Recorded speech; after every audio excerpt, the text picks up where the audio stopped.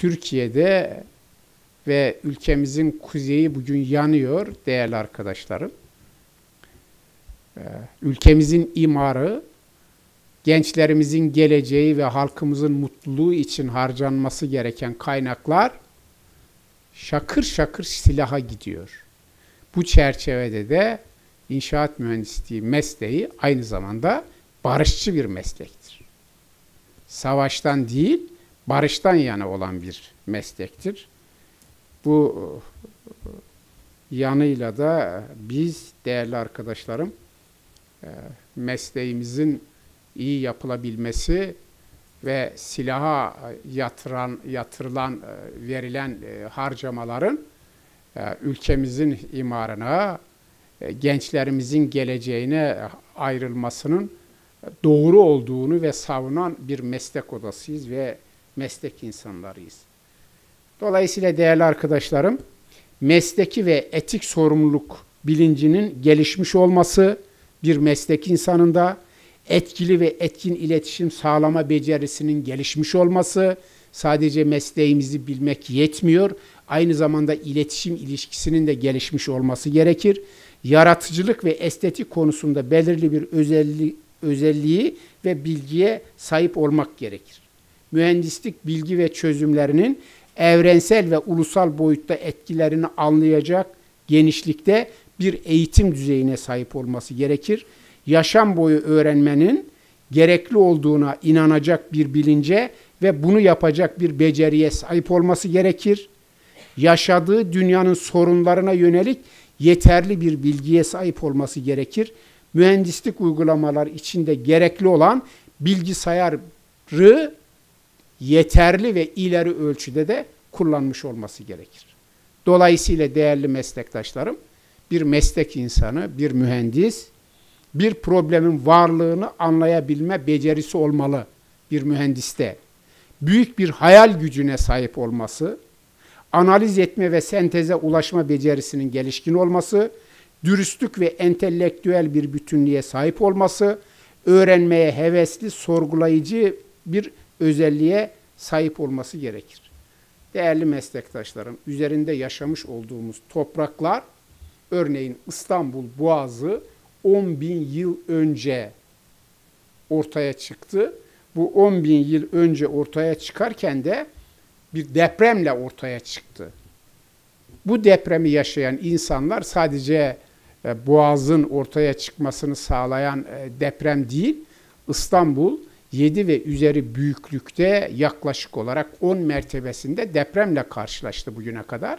Çevremizde yerleşim alanı oluşturan insanlar da e, aynı zamanda İstanbul'un tarihini biz e, Marmaray kazılarının yapıldığı evreye kadar 2700 yıllık bir tarihe sahip olduğunu düşünürdük. Oysa Marmara kazılarının yapılmasıyla İstanbul'un 8500 yıllık bir kent dünyanın en eski kenti o e, kentlerinden birisi olduğunu e, anlamış olduk. E, bu çerçevede de değerli meslektaşlarım, insanlar İstanbul ve çevresinde yaşayan insanlar veya Türkiye'nin başka yerinde yaşayan insanlar yaşamış oldukları afetlerden dersler çıkararak özellikle afetlerden fazla etkilenmeyecek yerlerde kentlerini veya köylerini oluşturmuşlar. Yani yamaçlarda oluşturmuşlar. Alüvyonlu topraklarda oluşturmamışlar. Bataklık alanlarda oluşturmamışlar. Dolayısıyla deneyimlerinden yararlanmışlar.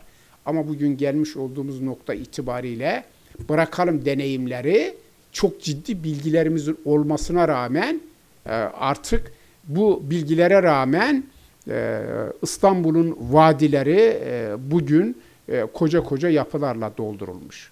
Yani e, yapı, yaşamış olduğumuz e, kentlerin sadece bizlere ait olmadığını, aynı zamanda gelecek kuşakların e, hakkı olan kaynakları da harcayarak, kullanarak gelecek kuşakların yaşam alanlarını ve kullanacakları kaynakları da yok ederek kullanma becerisini de ne yazık ki biz bugün İstanbul başta olmak üzere göstermeye çalışıyoruz.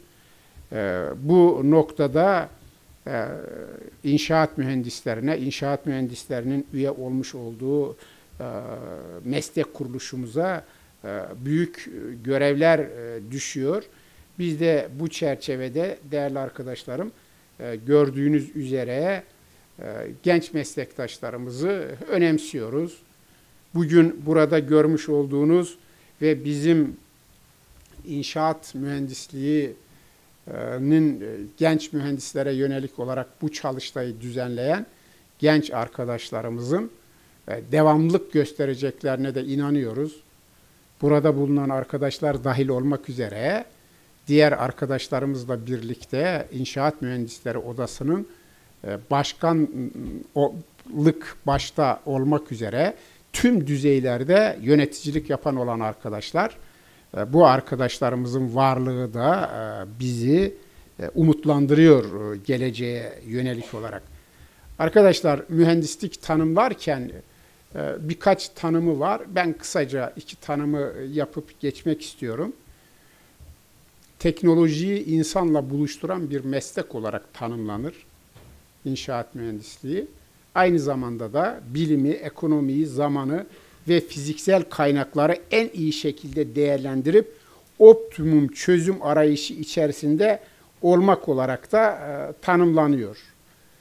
Buraya kadar söylediklerimi niye söyledim değerli arkadaşlarım? Burada belli oranlar var. E, onu zaman zaman e, ifade etmeye çalışıyorum. Plan dedim. İşte gelecek kuşakların yaşam haklarını ve yaşam alanlarının ortadan kaldırılmaması dedim. E, kalfaların, ustaların da güvenli yapı yapacaklarını söyledim. Yapılarımızın ekonomik olmasını da ifade ettim. İşte arkadaşlar bir herhangi bir şey yapılacaksa bir yere bir kez e, oranın çevre koşullarının dikkate alınması lazım. Yani bugün biz Üçüncü köprüye İstanbul'da karşı çıkıyoruz. Üçüncü havaalanının yapılmasına karşı çıkıyoruz. İki yakaya iki kentin kurulmasına karşı çıkıyoruz. İşte iki yakayı denizin içinden tüp tünelle birleştiren ve içinden e, işte motorlu taşıtların geçeceği e, tünele karşı çıkıyoruz. Ya biz her şeye niye karşı çıkıyoruz yani? E, onlara karşı çıkıyoruz. Peki bizim meslektaşlarımız nerede çalışacaklar? Ama Marmaray projesini destekliyoruz. E, metroyu destekliyoruz. Demiryolu inşaatlarını destekliyoruz. Hastane, okul, altyapı yapılmasını destekliyoruz. Arkadaşlar sözlerimin başında ifade ettiklerimi düşünün. Kamu yararı yoksa orada bir fiziksel büyüklük vardır. Yani biz inşaat mühendisiyiz. Orada çalışacağız. Elbette ki çalışacağız. Ama yapmış olduğumuz üretim o kente ve o ülkeye getireceği yarardan daha fazla zarar veriyorsa biz meslek odası olarak diyoruz ki bu yapılmamalıdır. Şuraya değil şuraya yapılmalıdır. Örneğin üçüncü havaalanı yapılmasın mı? İhtiyacı yok mu İstanbul'un? Arkadaşlar üçüncü havaalanına ihtiyacı vardı. 1 bölü 100 binlik çevre düzeni planı yapıldı. 1 bölü 100 binlik çevre düzeni planında 3. köprünün yapılma yeri Silivri bölgesi. E nereye yapıyorlar şimdi? İstanbul'un hava koridorunu kesen bir yere yapılıyor. O bölgede iki yakaya iki kent yapıyorlar. Artık bugün İstanbul, değerli meslektaşlarım, 1 bölü 100 binlik çevre düzeni planı o kentin anayasası. Yani İstanbul'un anayasasına göre 400-500 uzmanın çalışmış olduğu o anayasaya göre değerli meslektaşlarım üçüncü köprünün yapılmaması gerekir. İstanbul'un hiçbir yerine yapılmaması gerekir. Çünkü köprüyle İstanbul'un ulaşımını çözemiyorsun, çözemedik bugüne kadar. Bütün boğazın üzerini köprülerle kapatsak bile çözemeyiz. Başka çözümler aramak lazım. Metro yapmak lazım. Bu nedenle biz e, Marmaray e, projesini destekliyoruz. Çünkü bunları yaparsan değerli meslektaşlarım İstanbul'un anayasasına göre İstanbul'un nüfusunun 2023 yılında 16.7 milyon olması gerekir. Arkadaşlar bugün İstanbul'un nüfusu 16 milyona geldi. Eğer bu düşünenler yapılırsa, kanal projesi de yapılırsa hiçbir bilimsel çalışması olmadan, hiçbir bilimsel çalışması da yok. Yani niye yapıyorsunuz arkadaşlar? Neden yapıyorsun yani? Bunun bir bilimsel çalışmasının olması lazım. Altyapısının olması lazım. Ee, eğer bu söylediğim projeler yapılırsa İstanbul'un nüfusu 25 milyon, Trakya'nın nüfusu 45 milyon. Türkiye topraklarının yüzde sekizini oluşturan bu bölgeye bu kadar insanı siz yağmazsınız. Bundan dolayı karşı çıkıyoruz. İstanbul'un kuzeyi, İstanbul'un hava alanları, oksijen deposu, su havzaları. Eğer üçüncü köprüyü oraya yaparsan, üçüncü havaalanını oraya yaparsan İstanbul'u susuz bırakırsın. Beş afet yaratırsın. Bugün İstanbul'da beş afet yaratılmıştır. Yani normal e, işte dünyanın oluşumuyla ilgili bizim depremleri önleyebilme şansımız yok. Ama sel baskınlarını önleyebilme şansımız var. Hava kirliliğini önleyebilme şansımız var. Isı adalarının oluşma şansını önleyebil e, oluşmasını önleyebilme şansımız var. Taksim'de sel oluşuyor. İnsanlar dizlerine kadar pantolonlarını çekip yürüyorlar. Arkadaşlar ben 45 senelik İstanbulluyum. Taksim'de böyle bir şey görmedim. Üsküdar'da denizle suyun birleştiğini görmedim. E siz tabii her tarafı, her tarafı e, betonlaştırırsanız, yağan yağmurların e, gideceği toprak bırakmazsanız, toprağın e, ne derler ona, yapısını bozarsanız eğer karşılaşacağınız durum bu. Şimdi de İstanbul'da yapmış olduklarımızla şunu yaratıyoruz değerli e, meslektaşlarım. Bir, İstanbul 99'dan daha fazla depreme açık. Boş alan kalmadı. Bir düşünün nerede oturuyorsunuz? Dışarıya çıktınız. Depremin artçıları devam ediyor. Hiç yapınız zarar görmedi. Nereye gideceksiniz? 1999-2003 yılları arasında ben İstanbul Valiliği'nin o zamanki İstanbul Valisi'nin başkanlığında kurulan İl Afet Merkez Kurulu'nun 14 kişisinden birisi olarak o kurulda çalışmıştım. 493 boş yer belirlenmişti.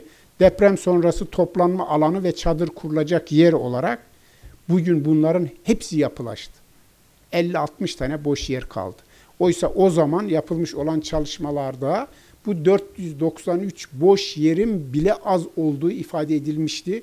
Yeni boş yerlerin yaratılması gerektiği düşünülmüştü. Taksim'de o alanlardan birisiydi. Niye çıktı Taksim Gezi Parkı olayları? E siz İstanbul'un ortasında nefes alınacak bir yer sadece Taksim Gezi Parkı kalmış. Oraya da alışveriş merkezi yapmaya kalkarsanız o olaylarla karşılaşırsınız. Taksim Gezi Parkı olayları bir sonuçtu, olayın kendisi değildi. İşte bu nedenle değerli arkadaşlarım, buradaki oranları ifade etmek için bunları söyledim. Bir fizibilite de yapmanız lazım. Bir fizibilite yapmanın toplam maliyet içerisindeki payı yüzde beş. Ama fayda olarak sonucu etkisi yüzde altmış beş. Tasarım yapmanın, tasarımın toplam maliyet içerisindeki payı yüzde on beş, sonucu etkisi yüzde otuz.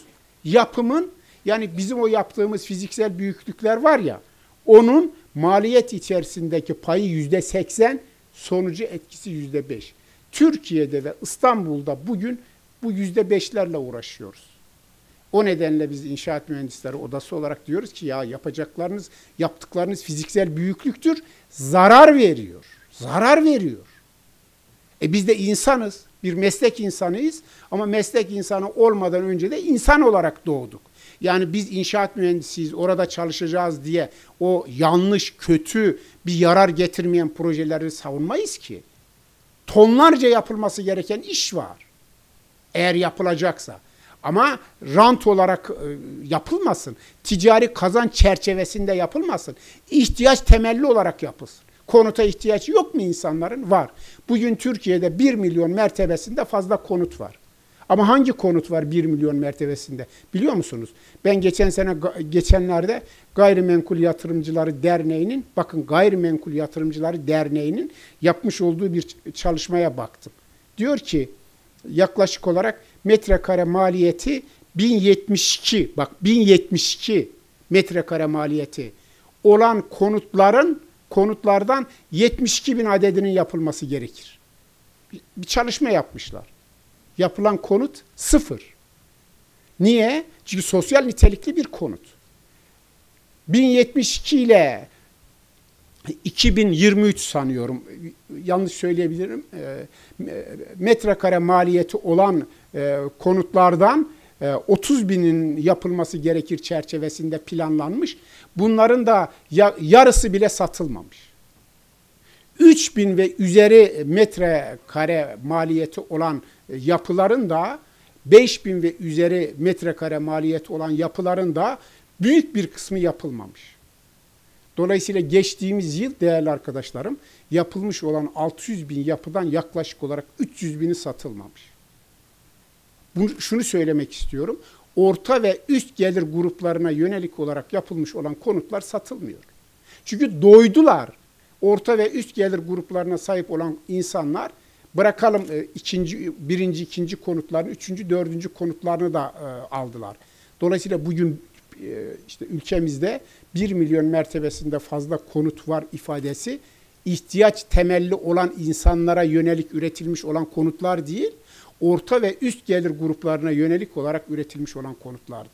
Hemen söyleyeyim, buraya kadar söylediklerimi ifade etmek açısından, yani bunun somutunu, elle tutulur kısmını ifade etmek için ifade edeyim.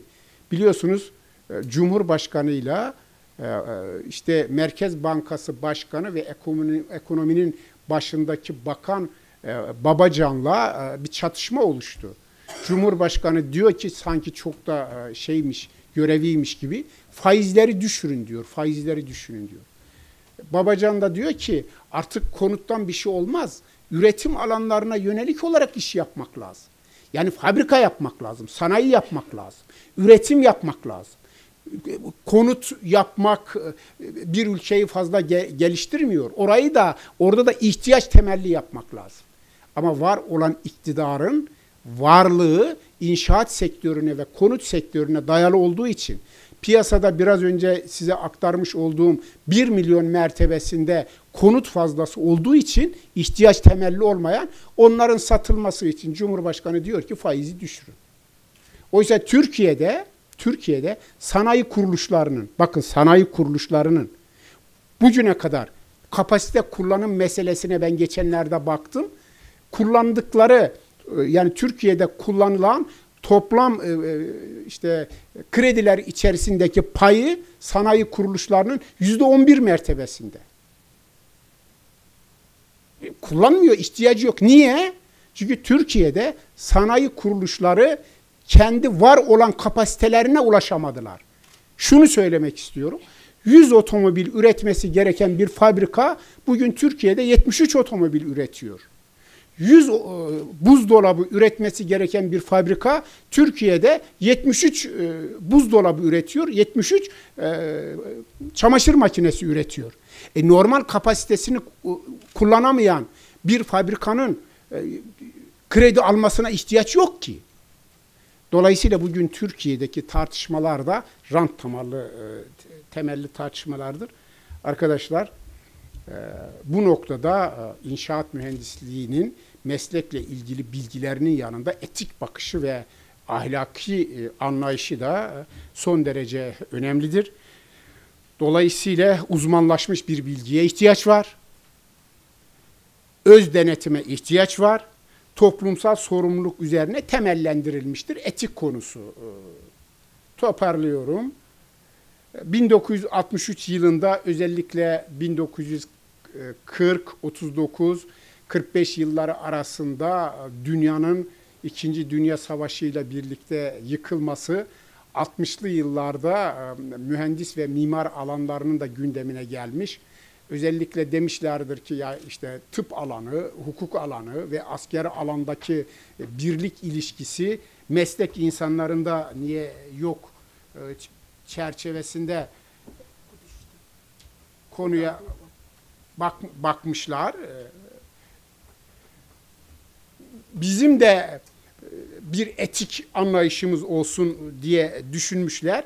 63 yılında oluşturulan ilk etik kural kamunun güvenliğini, sağlığını ve mutluluğunu dikkate almak zorundayız diye gündeme gelmiş.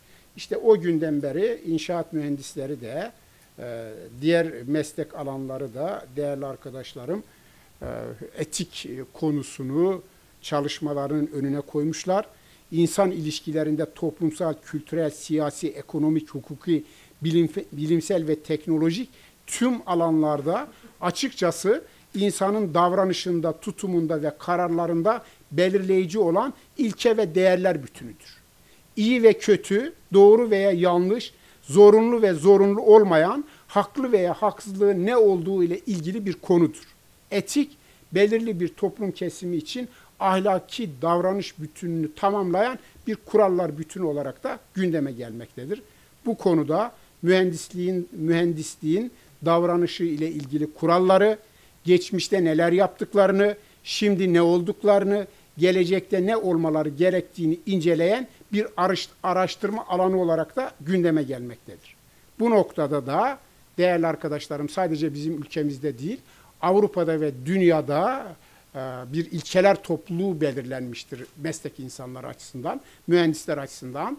Deniyor ki doğru olacaksın, dürüstlük ve güvenilirliği temel alacaksın, insan yaşamına ve e, refahına saygılı olacaksın, hakkaniyetli olacaksın, açık olacaksın, yeterlilik ve sorumluluk üzerine temellendirilmiştir. İnşaat e, mühendisliğinin de e, etik bakışı ve ilkeleri. Bu noktada da değerli arkadaşlarım biz ciddi bir sorumluluğumuz var.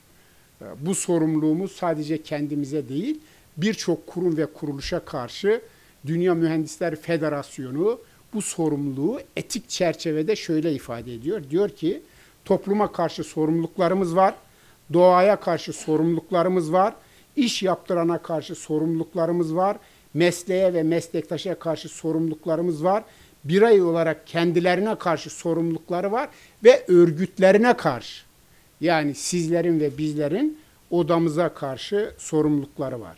Bu noktada birer bilgi kurumları olan üniversitelerin, bağımsız kuruluşlar olarak meslek odalarının, iş yerlerinin, çalışanlarının ve kamusal alanda karar vericilerin e, önemli payları var. Değerli arkadaşlarım bir ülkede yani ülkemizde sürekli deprem oluyor. Çeşitli afetler oluyor. Olan her depremde yüzlerce, binlerce bina yerle bir oluyor. Bu nedenle her seferinde yüzlerce, binlerce insan ölüyor. Bu noktada kabul edilebilir ölçüde mühendislik ve müteahhitlik hatalarının ötesinde bir şeylerin var olduğu da açıkça söylenebilir. Nedir bu? Her meslekten insan kendi meslek alanında hata yapabilir. Doktorlar da hata yapar, mühendisler de hata yapar. Mesleki hatalar genel olarak mesleki bilgi ve deneyim yeterlisizliğinden kaynaklanır mesleki bakımdan derin bir bilgiye sahip olan meslek insanları da hata yapabilirler. Mühendislikte ortaya çıkacak hatalar olabilir yani hata bilmeden hata yapabiliriz. Mühendislikte ortaya çıkacak hatalar can ve mal kayıplarına neden olmaması için birçok teknik geliştirilmiş, teknolojik ve bilinmez, bilinmezi bilinir kılacak çeşitli araçlar geliştirilmiştir. Ama Tüm bunlara rağmen mühendislikte yine de hata olabilir. Yerle bir olan, önemli ölçüde can ve mal kayıpları ortaya çıkaran müteahhitleri konumuz dışında tutalım. Yerle bir olan ve önemli bir kısmı kamu binası olan yapıların proje mühendislerini, kontrol mühendislerini bu yıkımların sorumlusu olarak peki görmeyecek miyiz? İşte değerli arkadaşlarım açıktır ki bu bir sistem meselesidir. Bu sistemin arkasındaki siyaset kurumlarının günahı da çok fazladır. Fakat hiçbir haklı gerekçe sadece ve sadece imza atarak proje yaptığını sanan veya nasıl denetleyeceğini bilmeden denetliyor görünen veya denetleyen mühendisleri haklı çıkaramaz. Tek gerekçesi işsiz ve aç kalmamak için iş aldığını söyleyen mühendislerin ölümlere, yıkımlara, can ve mal kayıplarına ortak olmaları bağışlanamaz. Biz böyle bir sistemin yanında olmayız. Olanlara da hiçbir zaman destek olmayız. Teşekkür ederim.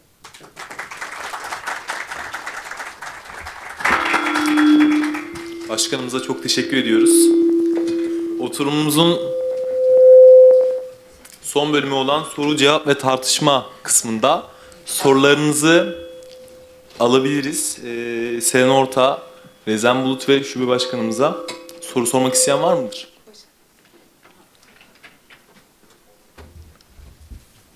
Evet. Arkadaşımıza bir mikrofon vereceğiz bir saniye.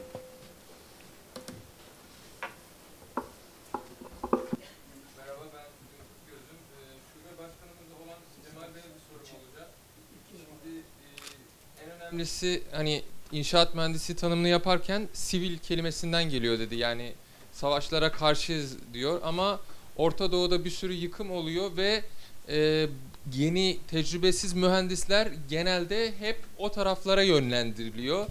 E, ve yani hani e, kendileri bir de dedi hani doktor, uzman doktora biz tecrübeli olana gidiyoruz dedi. Açıklaması bu yöndeydi.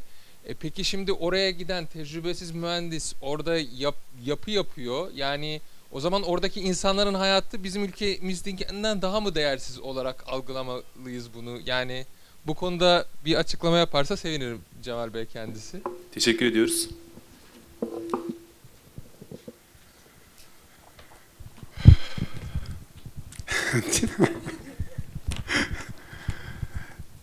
Tabii ki de değil. Her insan değerlidir.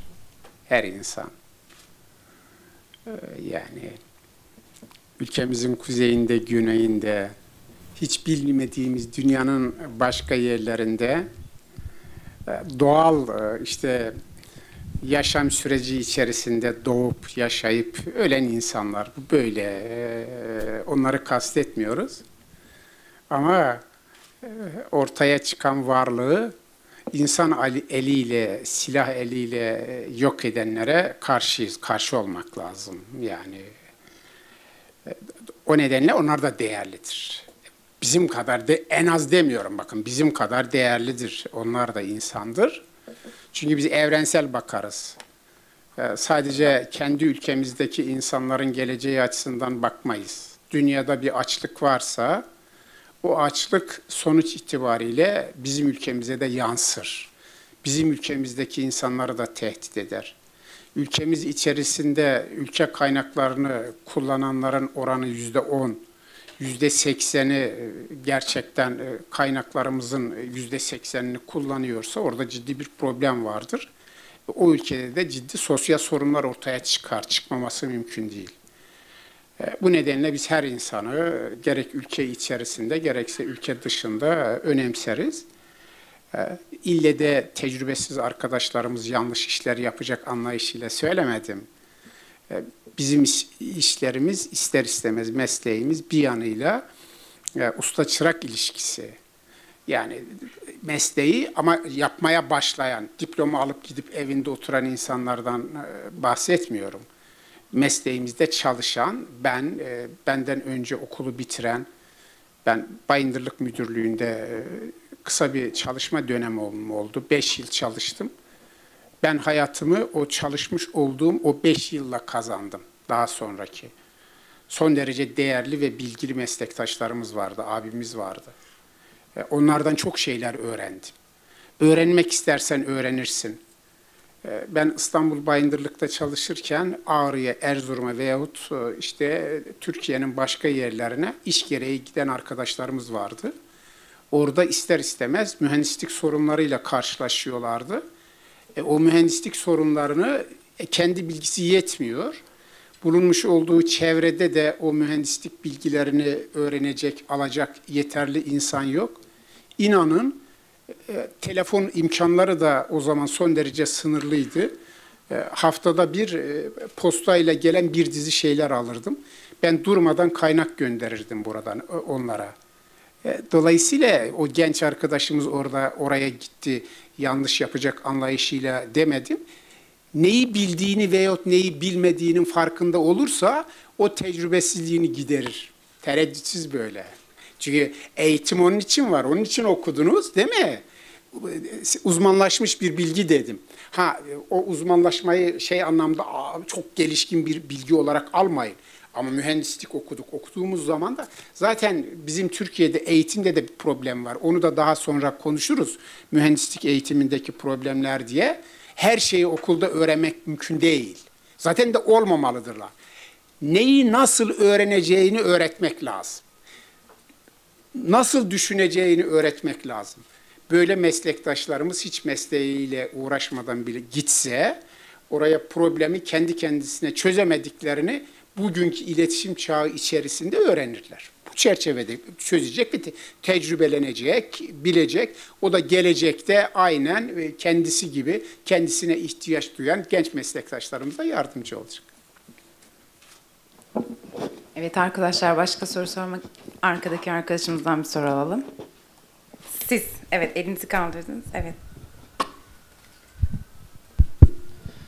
Merhaba. Öncelikle konuşmacı e, katılımcılara çok teşekkür ederim bu konuşmalar için ama benim de aynı şekilde arkadaşımın takıldığı noktada bir e, sorum değil ama e, bir görüşüm olacak. Ha, ismim Okan Yalçın'da. E, Yıldız Teknik Üniversitesi'nde inşaat mühendisliği öğrencisiyim. E, şimdi dediğimiz gibi aynı şekilde hani doktorların tecrübesini aradığımız gibi inşaat mühendislerinde tecrübesi, tecrübelisini ararız gibi bir ifade kullandık. Ama hani bu konuda bence biraz da sektörde özellikle kendini çok tecrübeli bilmek veya çok bildiğini düşünmek de hatalara yönetmez mi insanı? Hani mesela yeniliklere açık olmamak veya yeni beyin, bire- bire- bireylere, yeni beyinlere fırsat tanımamak da bir sıkıntı yaratmaz mı? Veya daha önce bizim yaşadığımız depremler 99 depremi olsun, Van depremi olsun. Buradaki depremlerdeki sıkıntı tecrübesizlik miydi? Yani bana sorarsanız bu biraz kontrol, daha çok bu konular kontrolsüzlük ve e, ihmalkarlıktan dolayı ortaya çıkan sorunları bence tecrübesizliğe yak- yakmak yanlış olur diye düşünüyorum ben. Bu konuda sizin görüşleriniz ne acaba? Peki, teşekkür ederim. Ee, arkadaşlar yani hepimiz tecrübesiziz. Yani okulu bitirdikten sonra yani tecrübesiziz. Bu böyle yani. Ama tecrübesiz olmak, o mesleği yapmamak anlamına gelmez. Kastım daha çok şurada. Daha çok şurada. Tecrübe ne dedim? 20 yıl önce diploma almış ama hiç diplomasını kullanmamış meslek olarak. 20 yıl önce diploma almış ama hiç mühendislik yapmamış. Şimdi o arkadaş tecrübeli midir? Bir. İkincisi, bugün biz karşılaşıyoruz. Projeyi ben yapıyorum. Betül imzalıyor. Bak. Ben yapıyorum, Betül imzalıyor. Olur mu böyle bir şey? İmzacılık olarak kastettim.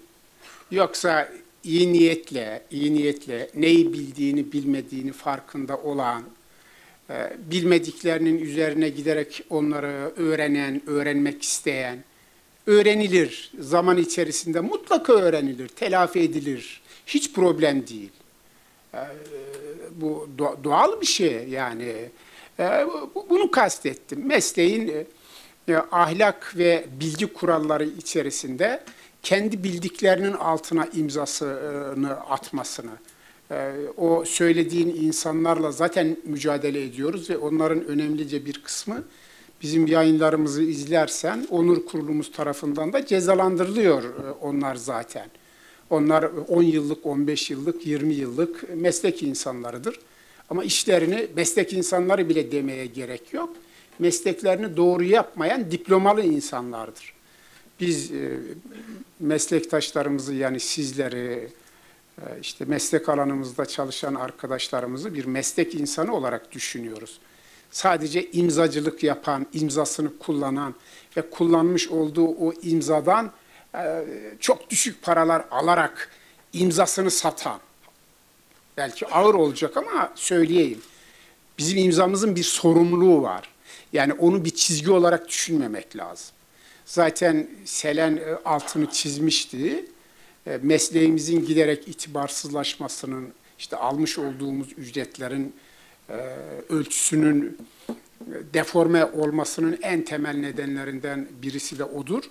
İmzamıza sahip çıkmamamız. Yani o imzanın sorumluluğuna sahip çıkmamamız. Eğer gerçekten o imzamızın yaşımız ne olursa olsun attığımız o imzanın bir sorumluluğu olduğunu bilirsek, bir sorumluluğu, yaşımız, mesleki tecrübemiz ne olursa olsun, inan yapmış olduğumuz mühendislik hizmetinin bir değeri vardır, bir önemi vardır. ve gelişerek yükselecektir. Bunları kastetmeye çalıştım. Başka soru var mı? Tamam. Mikrofonu şuradaki arkadaşa verin.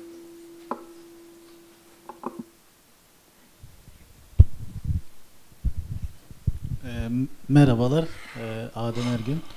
E, Cemal Bey şey demişti, 12 bin mezun veriyor yılda demişti. Öğrenci giriyor dedi. Öğrenci giriyor, giren de Demek ki 9 bin kişi falan bundan sonra mezun olacak. Ha, Evet. e, bizim üniversitede konferansta da hocamız e, bölüm başkanımız demişti 10.500 küsür mezun sayısı var demişti. Odamız yani bu konuda göke demiyor mu yani bu çok fazla falan bu konuda e, benim de yaşadığım bir olay yani yaşadığımız bir olayı anlatayım. E, ben e, şey misal yapı dinamiği sınavına giriyorduk. Bizim fakülte yetmiyordu. Gidiyorduk başka fakültelerde sınıf açıyorlardı bize. yani böyle bir durum oluyordu. Bizde mesela Sakarya Üniversitesi A, B, C, D vardı. Birinci öğretim, ikinci de öğretim. Yani acayip bir fazlalık vardı bölümlerde. Bununla ilgili bizim odamız ne yapıyor? Ee, size söyledim dedim ki 182 bölüm ve program var. Bu olmaz. Bu olmaz. Ee, Şöyle bakılabilir e, konuya.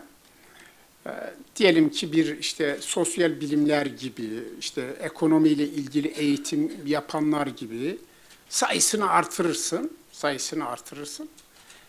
Sonradan piyasanın kendi iç mekanizmaları içerisinde örgütler kanalıyla bir düzenleme yaparsın. Şöyle, deprem sonrası bir dizi yönetmelikler ve yasalar çıkarıldı. O yönetmelikler ve çıkarılmış olan yasalar çerçevesinde de İnşaat Mühendisleri Odası bazı arkadaşlarımızın proje yapabilmeleri için belli sayıda bizim eğitimlerimize katılmış olmayı ve sertifika almayı e, hak olarak görmüştü. Dolayısıyla biz de biz de hatta bu arada bir yetkin mühendislik kurulu falan oluştur, oluşturulmuştu. E, bu mekanizma içerisinde bizim sertifika programlarımıza katılan, sertifika alan, eğitim programlarına katılan ve bunu sürekli hale getirerek mesleğin e, gelişimi ve meslektaşlarımızın daha da gelişerek doğru işte mesleki yeterlilik çerçevesinde aynı zamanda ahlakini ve etik bakışını da etkileyecek çerçevede iş yapmalarını sağlamıştık büyük ölçüde. Ee, onun diplomasının olmasının çok önemi yok.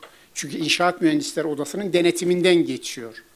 Fakat bugün gelmiş olduğumuz nokta itibariyle İnşaat Mühendisleri Odası devre dışı kaldı.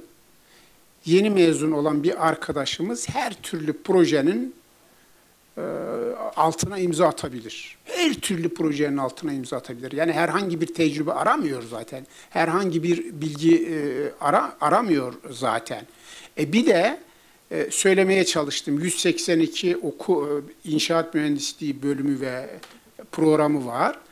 E, normal olarak diyelim ki statik dersi, betonarme dersi okumadan diploma almış olan arkadaşlarımızın daha böyle yetişkin olan, daha iyi okullarda eğitim görerek diploma almış olan arkadaşlarımızla aynı haklara sahip oluyorlar. E ne yapıyorlar? Birisi bilerek yapıyor, birisi imza, imzacılık yapıyor. E bu noktada biz dedik ki ya bakın Türkiye'de inşa, meslek odalarının yetkilerini ortadan kaldırıyorsunuz bir tarafta. Yetkilerini ortadan. Yani inşaat mühendisliği olarak aramıza katılan meslektaşlarımızın denetimini dünyada meslek odaları yaparlar. Siz meslek odalarının denetim yapmasını devre dışı bırakıyorsunuz. İkinci olarak da sayı artırıyorsunuz. Bu sayı bir planlamanın ve bir ihtiyacın ürünü değil, herhangi bir müteahhitin bürosunun arkasında dizilme ile ilgilidir. Çünkü siz ne kadar çok olursanız, ne kadar çok olursanız bilginiz önemli değil. Bu yasalarda diyor ya mühendis olması lazım. İşte o çerçevede. E o zaman nasıl olsa Ahmet olmazsa Mehmet. Gel 500 liraya çalış. Yani şeyin düşürülmesinin, almış olduğunuz ücretlerin düşürülmesine de neden oluyor. Aynı zamanda yaptığınız işin kalitesinin düşmesine ve nitelik kaybının ortaya çıkmasına da neden oluyor. Bu nedenle elbette ki bir defa YÖK düzeninin ortadan kalkması lazım. Şimdi sana bir şey söyleyeceğim ben. Konumuzla direkt alakalıdır. İşte e, bugün rektörler seçiliyor değil mi? Seçiliyor rektörler. Beğeniriz, beğenmeyiz. Bir okulda öğretim üyeleri vardır. İşte adaylara e, oluyor. O adaylara yönelik oy kullanıyorlar. En fazla oy alanın yetişmesi, seçilmesi gerekmiyor mu? E, Böyle yani dem- demokratik olacaksa, hakkaniyetli olacaksa, yani kişilerin iki dudaklarına yani ben e, sev, e, Betül'ün gözlerini sevmeyebilirim yani saçlarını sevmeyebilirim. İnsan olarak yani. Çünkü kendi öznelliklerimiz var bu çerçevede. Ama kriter objektifse en fazla oyu alan rektör olacak. Bitti. Türkiye'de öyle oluyor mu? Peki YÖK öyle oluyor mu? YÖK'ün kendisinin ortadan kalkması lazım. Dolayısıyla Türkiye'deki üniversiteler, bak acıdır, üniversiteler bir bilim kurulu, bilim yuvası olması gerekir. Bütün haksızlıklara karşı çıkması gerekir. Haksızlıklara. Üniversiteler siyasetin dünyanın hiçbir yerinde ya herkesin bir siyasi görüşü vardır yani olabilir. Doğaldır ve haktır. Ona yönelik olarak biz herkes istediği gibi özgürce düşünebilir. Ama bilim kurumlarının, üniversitelerin o ülkenin siyasi erkinin güdümüne girmesi, onlara bağ, bağlı olması, onların gözlerinin içine bakarak davranması o ülke gençlerinin geleceğini ve gelecek kuşakların geleceğini yok etmektir.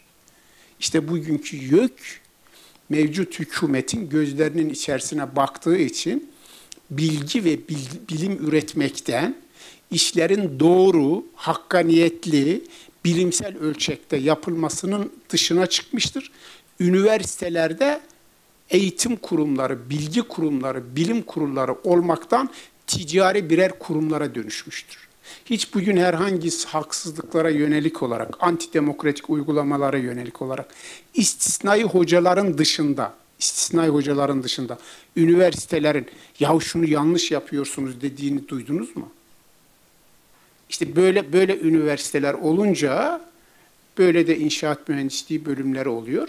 Biz de elbette ki söylüyoruz, raporlar veriyoruz, gidiyoruz, oturuyoruz, konuşuyoruz, yanlış yapıyorsunuz diyoruz. İnşaat mühendisliği eğitimiyle ilgili sempozyumlar yapıyoruz, kitaplar çıkarıyoruz. Ama arkadaşlar ha, sizi de şeye çağırıyoruz. Sözlerimin başında söyledim. Ee, Selen'de üzüldü. 514 kişi geleceğim diyor. İşte bu kadar arkadaş geliyor. E o zaman da birileri bizimle alay ediyor ve oynuyor. Ama biz de inşaat mühendisleri odası olarak, inşaat mühendisi olarak 100 bin sayımız var arkadaşlar yani. Her yıl şimdi 10 bin kişi. Şimdi iyi. Birkaç sene sonra göreceğim sizi. Onun için sahip çıkın buraya. Kendinize sahip çıkın yani buraya değil. 10 bin kişi aramıza katılacak. 10 sene sonra Türkiye'de inşaat mühendisleri sayısı bugünkü kadar. Arkadaşlar nerede çalışacaksınız? Kendinize sahip çıkın. Bu anlamda mesleğinize sahip çıkın. Farklı farklı düşüncelerde olun. Bu noktada mesleği ki birliği, mesleki etik ve ahlakı çerçevesinde çalışmak için kanal oluşturmanın en temel yönü dayanışma içerisinde olmak. Onun yeri de burası. Söylediğin doğru. Cevap verebildim mi?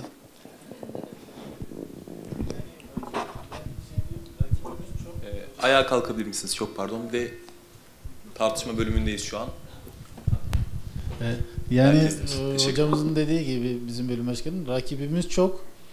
Ondan sonra e, artık piyasanın durumu da kötü. Çok düşük maaşlar veriliyor. Ben e, bunu kendim şahit Hocana sor niye rakibimiz çok? Olmasın ya. İnşaat mühendisinin rakibi çok olur mu ya? İnşaat mühendisi bir şeydir yani ne dedik? Arkadaşlar herkes okusun, herkes okusun, herkes yüksek öğrenim görsün, herkes görsün. Türkiye'de okullaşma oranı son derece düşük. Hele yüksek öğrenim okuyanların sayısı oldukça düşük. Herkes yüksek öğrenim görsün. İlle de inşaat mühendisi olmak durumunda değil herkes. Doktor olmak durumunda değil, Hakim olmak durumunda değil. Bu üç meslek de önemli meslek. Sadece bizim mesleğimiz değil. Bakın başka bir şey söyleyeyim. Türkiye'de 15 tane anayasa profesörü var. 15 tane anayasa. Kaç tane hukuk fakültesi var? 75 tane. Ya anayasa hocasının olmadığı bir ülkede hukuk fakültesi olur mu? Söylediğim bu. Veyahut e, işte malzeme hocasının yeterli olmadığı e, okullarda e, mezun olan arkadaşlarımızın veyahut malzeme hocasının olmadığı inşaat mühendisliği bölümleri veyahut programları olur mu? Demek ki burada bir buna karşı çıkmak lazım.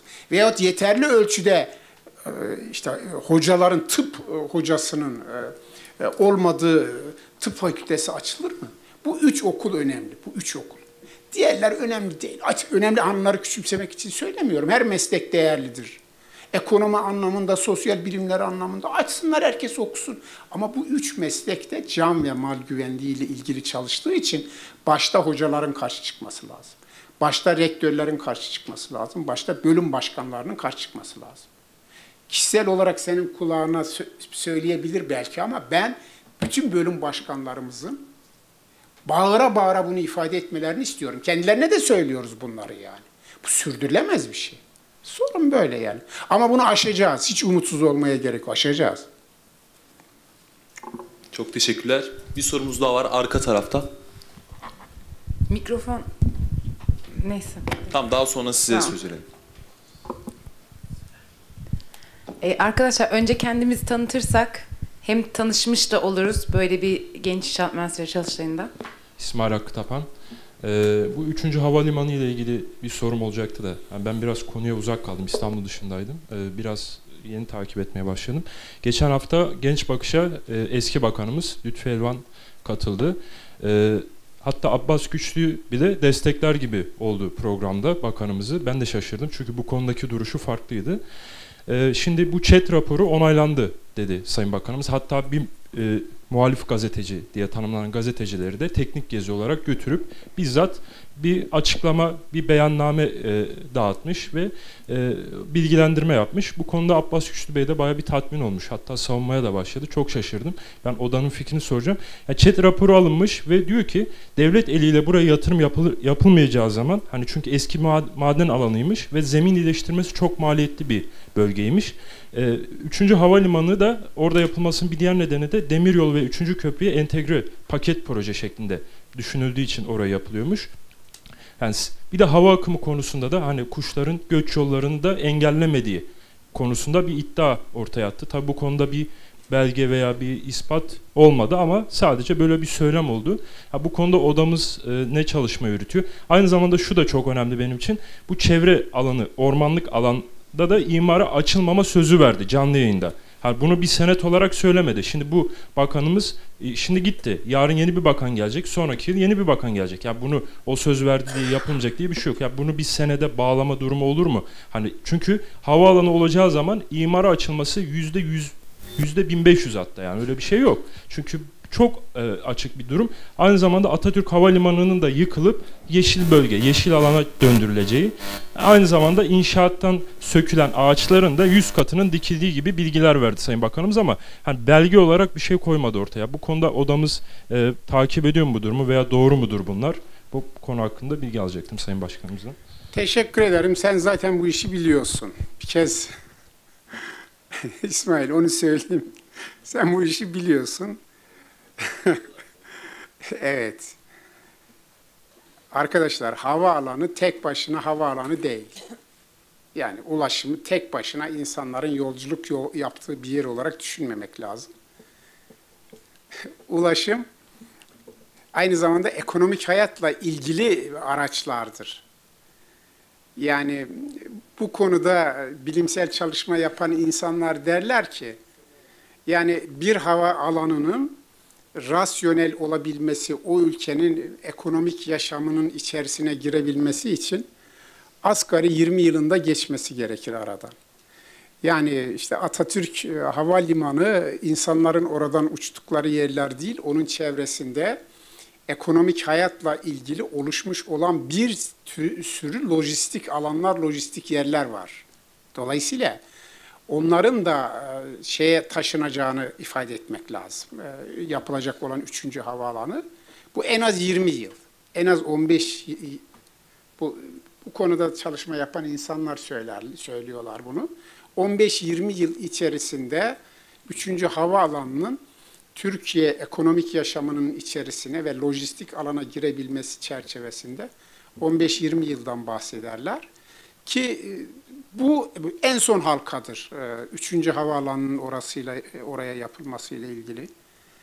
E, Kadir Bey, İstanbul Belediye Başkanı şöyle bir açıklama yapmıştı. 1 bölü 100 binlik il çevre düzeni planı yapılırken o il çevre düzeni planları kentlerin anayasalarıdır. Anayasası yani anayasa yani plan geleceğin öngörüsüyle ilgili oluşturulan bir araçtır. Gelecek öngörüsüyle. Yani bu kenti nasıl görüyoruz? Bu kentte gelecekte ne kadar insan yaşayacak? Bu insanların ne kadarı nerelerde olacak? Bu kent göç alsın mı, almasın mı? Bu kentin suyunu nereden getireceğiz? Bu kentin gelecekteki hava kirliliği olacak mı, olmayacak mı?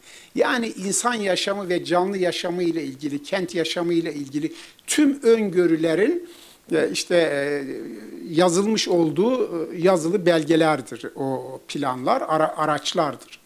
Kadir Bey de diyordu ki biz İstanbul'un anayasasını yapıyoruz ve 400-500 uzman ve bilim insanı çalışıyor. Gerçekten doğru, hakikaten öyle. E, Biz de e, toplantılarına katıldık. Ya bu hem bilim insanları çalışıyor diyorsun, hem e, uzmanlar çalışıyor diyorsun. Bu kadar 400-500 insanın aklı yok muydu? Bilgisi yok muydu? Bunların hiçbirisi 3. havaalanının İstanbul'un kuzeyine yapılmasını öngörmedi.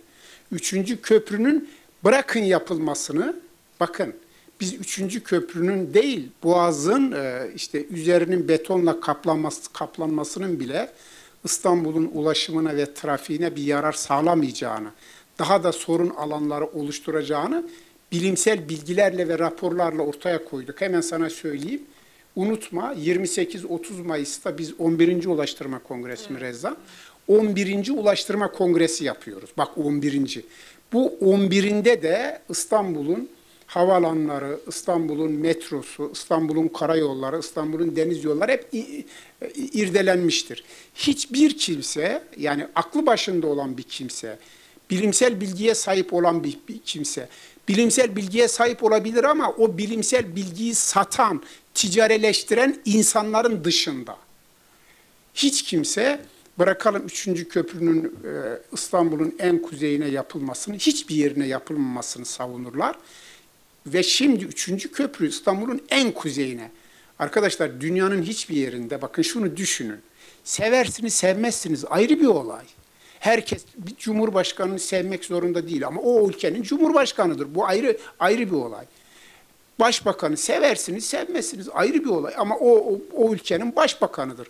Demokratik yollarla seçilmişse onun düşüncelerine, planlarına, programlarına katılmayanlar olabilir ama sen onu yok varsayamaz. Çünkü demokratik yollarla gelmişse eğer. Dolayısıyla değerli meslektaşlarım, dünyanın hiçbir yerinde Binali Yıldırım bir, o zaman başbakandır. Recep Tayyip Erdoğan iki, İstanbul Belediye Başkanı Kadir Topbaş helikoptere binerek havadan üçüncü köprüye karar, üçüncü köprünün yerine karar verdik noktasında eğer bir ifadede bulunuyorlarsa, gerçekten de böyleyse ki böyledir, o ülkede ben hiçbir ihtilali onaylamam. Yani askeri darbeleri hiç onaylamam. Hiç. O ülkede halk ihtilali olur, halk. Böyle bir şey olmaz ya. Hele gidin bakayım bunu Almanya'da, İngiltere, Amerika'da gidin böyle bir şey yapın yani. İki gün önce neydi? Bir saat hikayesi oldu. Nerede? İtalya'da. Değil mi arkadaşlar? Bizimki gibi de değil yani. İstifa etti. Ya bizde neler oluyor görüyorsunuz. Dolayısıyla eee, üçüncü köprü e, açık ne derse desin e, üçüncü köprü bir katliamdır İstanbul için. Bakın birinci köprü yapıldı. Bomboştu o zaman İstanbul. Geçmiş program şeylerine bakın. İstanbul'un e, fotoğraflarına bakın. Yapılaştı. İkinci köprü yaptı, yapılaştı. Üçüncü köprüde diledikleri kadar söylesinler. Arkadaşlar kendileri söylüyorlar. İki yakaya iki kent demiyorlar mı? Yapılaşmıyorlar. Lütfi Elvan nasıl böyle bir şey söylüyor? Ayıptır yani. Ayıptır. Ayıptır. Başbakan iki yakaya iki kent demedi mi? Birisi batıya, birisi doğuya. Nereye yapıyorsun? İşte o iki yakaya, iki kente altlık oluşturmak üzere üçüncü köprüye karar verildi. Üçüncü havaalanına da öyle. Arkadaşlar teknik olarak bakmayın. Teknik olarak biz meslek insanı olarak, mühendis olarak her yere, her türlü yapıyı yaparız. Suyun içine de yaparız, bataklık alana da yaparız. Ama sorun şurada. 60 tane göl kurutuyorsun. 60 tane göl kurutuyorsun. Orada bak. 2,5 milyon ağaç kesiyorsun. Arkadaşlar 10 milyon ağaç kessen de bak 10 milyon ağaç e, diksen de pardon. Ya o ormanın yaratmış olduğu ekoloji, orada bir sistem oluşmuş. Orada böcekler oluşmuş, orada hayvanlar oluşmuş. Orada bir fauna oluşmuş. O faunayı yaratamazsın. Orman ağaç demek değil, orman bir hayat demektir. Dolayısıyla dikersin ağaç sorun sorun değil ki. Görüyorsunuz değil mi son zamanlarda domuzlar kendilerini denizlere vurmaya başladılar. Şeyin Lütfi Elvan'ın söylediği kuşlar ben de söyleyebiliyorum. Ben de kuşlar oradan geçmeyecekler. Arkadaşlar bunun bir bilimsel bilgisi yok ki. Çalışma yapanlar, kuş yollarıyla ilgili, göç yollarıyla ilgili çalışma yapanlar diyor ki o bölge göç yolu. Bu kadar net. Göç yolu. İşin gelelim ÇED'ine. Türkiye bilimsel bilgilerle yönetilmiyor, Türkiye yasalarla yönetiliyor. Siz eğer 1980'li yılların ortalarında çıkarmış olan çevre etki değerlendirme e, yasasını durmadan değiştirirseniz, çevre etki değerlendirme raporlarının hazırlanmasını bir bakanlıkta çalışan o bakana bağlı e, insanların oluşturacakları bir rapor haline getirirseniz o rapor chat raporu olmaz ki. O rapor ben böyle bir rapor istiyorum onu hazırla getir denen bir rapor olur. Onun içerisinde de bilimsel bilgi olmaz. Dolayısıyla çevreyi gerçekten etkileyecek ölçüde işin bütün bilimsel altyapılarıyla birlikte hazırlanmış olan bir rapor mudur? Yoksa Bako'nun memurlarına hazırlatmış olduğu bir rapor mudur? Dolayısıyla söylediğin de doğrudur. Eğer orada o genç bakışı sunan hayır bu böyle değil derse ikinci gün işinden olabilir. Dolayısıyla Türkiye'de işler böyle böyle böyle yürüyor. Katliamdır, katliamdır. Hakikaten katliamdır. Arkadaşlar size söyledim biz oralarda çalışıyoruz. Meslektaşlarımız oralarda. Biz hiç karşı olur muyuz? Ya oraya yapma, Silivri'ye yap. Hatta ve hatta değerli arkadaşlarım İstanbul'un göç alan bir kent değil, göç veren bir kent olması lazım. Niye? Bu konutları satmak için, ürettiğin konutları satmak için durmadan gel gel diyorsun. Ne dedim? Evleriniz içi bugün İstanbul er veyahut geç bir deprem yaşayacak. Er veyahut geç. Dışarısı daha güvenli bir yer değil mi? Dışarı. Bugün İstanbullu depremlerde evinden çıkmamalıdır. Evleri daha güvenli hale gelmiştir. Çünkü dışarıda mutlaka kafasına bir kiremit düşecek. Boş yer kalmadı ya. Oturduğunuz yeri düşünün. Nereye gideceksiniz? Nereye yaptılar? Yeni kapıda denizi doldurarak toplanma alanı yaptılar. Maltepe'de denizi doldurarak toplanma alanı yaptılar. Arkadaşlar deniz denizdir, karada karadır. Deniz doldurulup toplanma alanı yapılır. Deniz doldurulmaz. Şeyi hatırlayın. Murat neydi? Ee, Yalova'da e, denizin içerisinde. Değirmendere. Değirmendere'de dolgu alanının üzerine yapılmış olan binalar şimdi denizin içerisinde balık yuvası. Balıklar orada e, yuva yapıyorlar. O nedenle birilerinin ne dedim size? Dedim ki size yönet birilerinin yani sizi yönetenlerin idari kadrolarda bulunanların size söyledikleri geçerli değil. Sizin teknik bilgileriniz, mühendislik bilgileriniz asıldır. O eğer uygulanmaya konmuyorsa gereğini yapmak lazım. Onun için de örgütlü olmak lazım arkadaşlar. Örgütlü olmak lazım. Cevap verebildim sanıyorum. Peki sağ ol. Şey, e, Evren arkadaşımıza verebilir miyim? Buradan. Mikrofon. Evren Korkmazer. Ben de e, bu çalıştayı bu seviyeye getiren tüm arkadaşlara teşekkür ederim emeklerinden dolayı. Bu e, düzenlenen anketin e, sonuç kısmındaki bir konuyu e, Sayın Başkanımızın nasıl değerlendireceğini sormak istiyorum. Orada birinci maddede deniliyor ki işte İMO siyasal konulardan daha çok üyelerine hak ve hukuklarını savunmalıdır. Yani bu e, bence 12 Eylül'den sonra meslek odalarına ve sendikalara işte sivil toplum örgütlerine karşı, karşı geliştirilen bir algıdır. Yoksa hak ve hukukun savunulması da siyasi bir sorundur aynı zamanda. Veya işte eğitimden bahsediyoruz, yükten bahsediyoruz. Bunlar hepsi e, gelip siyasete dayanıyor. Siz nasıl değerlendiriyorsunuz bunu? Teşekkür ederim. Evet. Bizim genç arkadaşlarımızın değerlendirmesidir değerli arkadaşlarım. Senin e, söylediğin çerçevede o arkadaşlarımızın düşünmediklerini biliyorum ben. Ee, söylemek istedikleri şudur. Arkadaşlar hani derler ya dışarıda e, birçok çevre yahu inşaat mühendisleri odası işte siyasetle uğraşıyor. Mesleğini yapsın. Değil mi? Bunu biz de istiyoruz.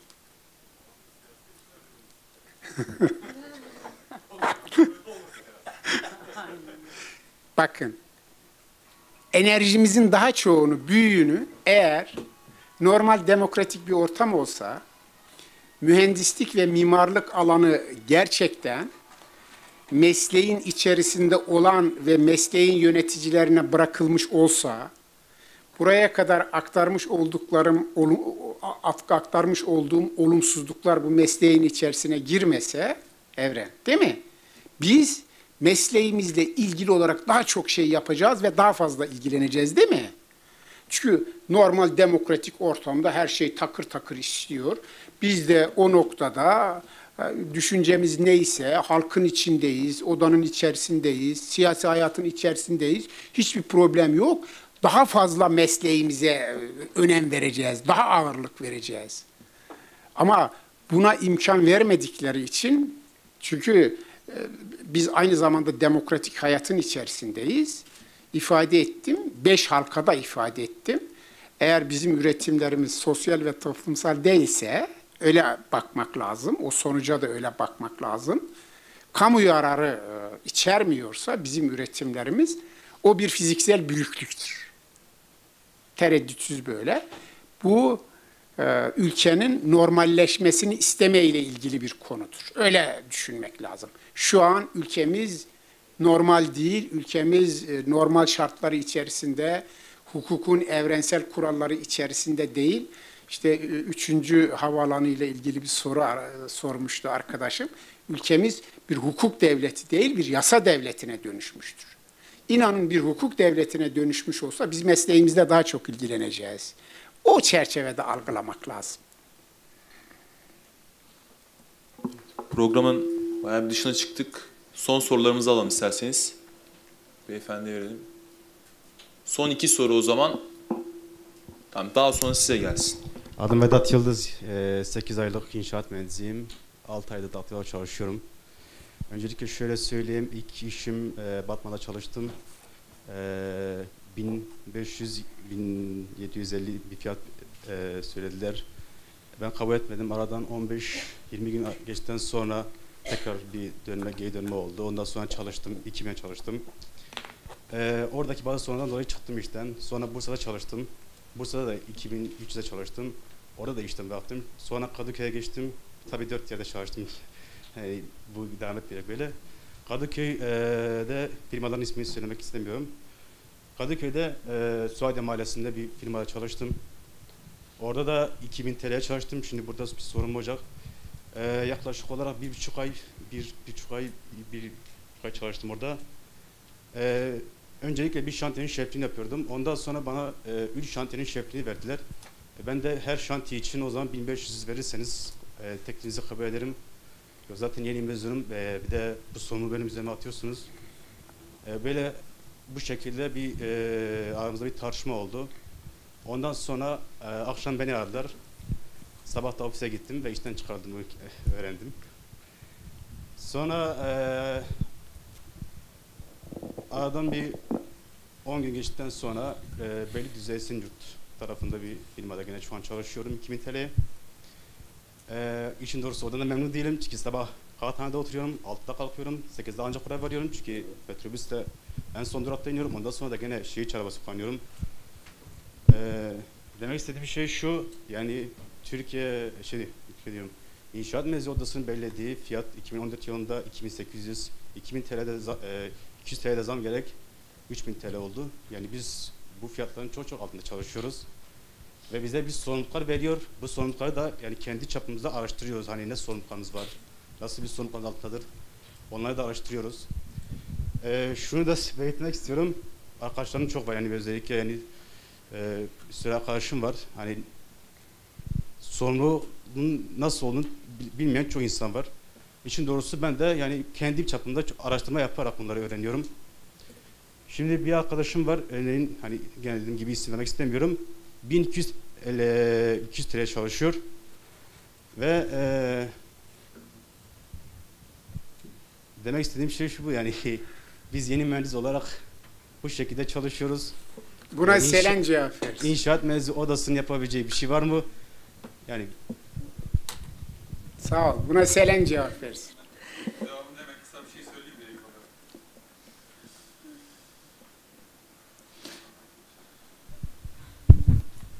Siz e, Ali İhsan Çıplak ben. Ee, konuşmanızın sonunda e, iki maddelerden birinde işte e, meslek etiğine uygun olmayan davranışları odanın sahiplenmesi beklenmesin demiştiniz. Ancak yeni mühendisler için arkadaşın da anlattığı gibi meslek etiğine e, uymanın hiçbir nesnel koşulu yok şu anda. Ben de aşağı yukarı aynı koşullarda çalışıyorum. E, bir anlamda odanın bunu söylemesi e, biraz e, lüks bir tutum değil mi? Bana öyle zor sorular sormayın. Yani Ey Selen. ben başlayayım. ilk. E, e, ben biliyorum ben de bu şartlarda çalışmıştım daha önceden bil, e, bilmiyorken. Ama şöyle bir şey var. Şimdi SGK ile anlaşmış olan bir oda var. E, bu şartlar belli. O insanlar hani bizi nasıl çalıştırdı biz diyorum. Kendimi de katmak istiyorum çünkü. Bizi iş, inşaat mühendisi olarak e, imza attırıyorlar. İşçi statüsünde gösteriyorlar. Şimdi zaten odanın kaynakları kısıtlı, yapabileceği şeyler sınırlı. Bir şekilde ben o yüzden aslında inşaat mühendislerinin birlik olması lazım dedim. Siz onu kabul etmeseniz mesela başka birini işte işe alıyorlar. Bu yüzden bizim dememiz lazım ki e, ki ben, mesela çalıştığım bir firmada ben buna şahit oldum. Yeni mezun bir arkadaşımız gelmiş e, iş görüşmelerini ben yapıyordum. İşte ne kadar maaş istiyorsunuz? TMMOB'nin belirlediği asgari ücreti istiyorum demiş. Beni alın almayın ama ben bunu istiyorum. Ve ben biz direkt ben üstlerimle de konuştum o kişiyi işe almak için. Bizim bu, bu şekilde bir duruş geliştirmemiz gerekiyor ki bütün inşaat mühendislerinin bu şekilde bir duruş geliştirmesi gerekiyor ki hak ettiğimiz ücretleri alalım. Siz orada işçi statüsünde çalışıyor gözüküyorsunuz şu an. Hani tutanaklara imza atıyorsunuz, sözleşmelere imza atıyorsunuz ama inşaat mühendisi olarak imza atıyorsunuz, işçi ücreti alıyorsunuz. Bizim bir şekilde buna e, karşı koyup kendi hakkımızı aramamız, bu tür e, bu tarz yerleri de odaya ve SSK'ya şikayet etmemiz gerekiyor. Yani bunu yapabilecek güce sahip olmamız gerekiyor. Evet, son olarak ben de bir şey eklemek istiyorum. İkinci oturumda e, avukat e, Taner Savaş beyefendiyle görüşürseniz hukuki olarak e, ne tür bir yol izlemeniz gerektiği hakkında detaylı bilgi sahibi olabilirsiniz. E, son sorularımızı alıyoruz. Şuraya verin lütfen. Sizi size en sona bırakıyorum. Teşekkürler. İsmim Caner Zafer. Ee, öncelikle şunu söylemek istiyorum arkadaşlar. Şimdi zaten e, bir önceki sorulan soruyla alakalı olarak İnşaat Mühendisleri Odası bu durumla alakalı ne yapabilir gibi bir soru vardı. Bu sorunun temelindeki duruş şu zaten. Örgütsüzlük. Eğer biz örgütlü bir duruş sergileyebilirsek zaten bu konuşmaları yapmaya veya bu soruların sorulmasına bile gerek kalmayacak. E zaten bunun temelde nedeni ortada. Şu anki hükümet ve iktidar inşaattan besleniyor ve inşaat sektöründe çalışan hiç kimsenin konuşmaması gerekiyor. Ve müteahhitlerin daha fazla kar etmesi gerekiyor ki bu karlarının daha büyük bölümü belli bölümlere aktarılabilsin ve bunun için de burada çalışan, emek veren kişilerin aslında hakkını alamaması gerekiyor ki iki tarafta bunun üst katmanda duran iki kişi de karda e, bu yaratılan değerden daha fazla pay alabilsin. O yüzden e, bu konuyla alakalı söyleyeceğim tek şey sonuçta çözüm bizde. Çözüm bizim duruşumuzda ve çözüm bizde. Başka bir yerde aramaya gerek yok. Teşekkürler. Evet tekrar teşekkür ediyoruz biz de. Son olarak arkadaşımız e, sorusunu sorsun burada. Ben Yasin Taş, Yıldız Teknik Üniversitesi İnşaat Bölümü öğrencisiyim. Rezan Bulut Hanımefendi'ye bir sorum olacaktı. Hani meslek yaşı demiştiniz ya. Burada e, biz genç İMO'ya kayıt olduğumuzda hani bir sicil numarası falan alıyoruz. O zaman bu hani bizim mesleki yaşımızın başlangıcı mı oluyor yoksa e, üniversiteyi bitirdikten sonra e, İMO'ya hani Aynen öyle. şey- Aynen öyle. Yani öğrenci üyelik aslında bir şey değil, yasal bir zorunluluk değil. İnşaat Mühendisleri Odası'nın e, İnşaat Mühendisliği bölümünde e, okurken öğrenci arkadaşlarımızın odayla tanışması, odayı tanıması anlamındaki bir yönetmelik ama bizim asıl yasa ve yönetmeliğimiz biraz önce söylemiştim e, mesleğinizi yapabilmeniz için zaten önemli bir şey odaya üye olmaz. Dolayısıyla meslek yaşınızda asıl üyelik dediğimiz o mezun olduktan sonra odaya üye olmanızla başlayan e, süreç içerisindeki durumdur. Yani öğrenci üyelik değil. Tamam teşekkür ederim Ee, sağ olun cevabınız için. Bir de e, Cemal Gökçe Beyefendi'ye bir sorum olacaktı. Ee, mima, e, ülkemizdeki mimarlık fakülteleri hani oralardaki hani sayı olarak inşaat mühendisliği bölümüne göre çok çok az yani oran 1 bölü 2'den daha fazla şey daha az yani. Ee, bunun için e, mimarlar odasının veya da şeyin TİMÖP'ün aldığı bir önlem mi var yoksa e, hani bir herhangi bir uygulama falan var yoksa e, istemsiz olarak mı böyle bir durum gelişmiş? Bunu öğrenmek istiyorum. Teşekkür ederim. Yok, herhangi bir önlemi yok.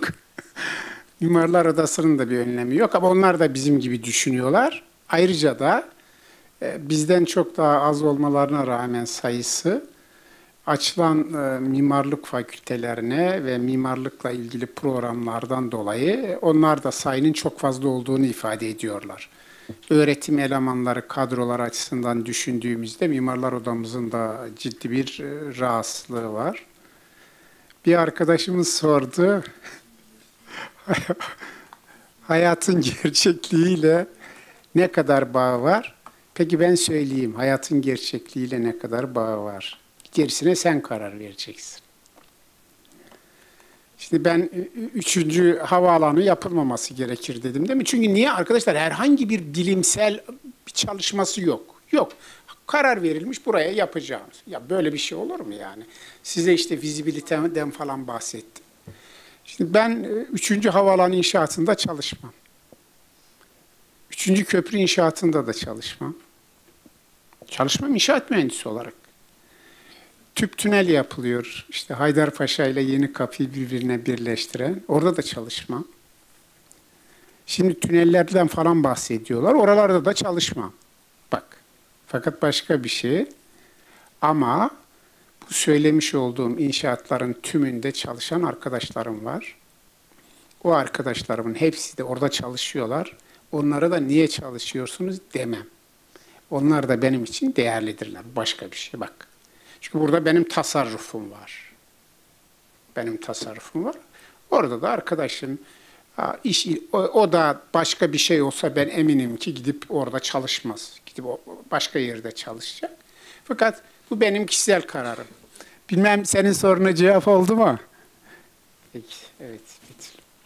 Evet arkadaşlar e, son sorumuzu aldık. Yaşar, Şimdi bir bir, ara vereceğiz. E, peki o zaman son sorumuz sizle kapatalım.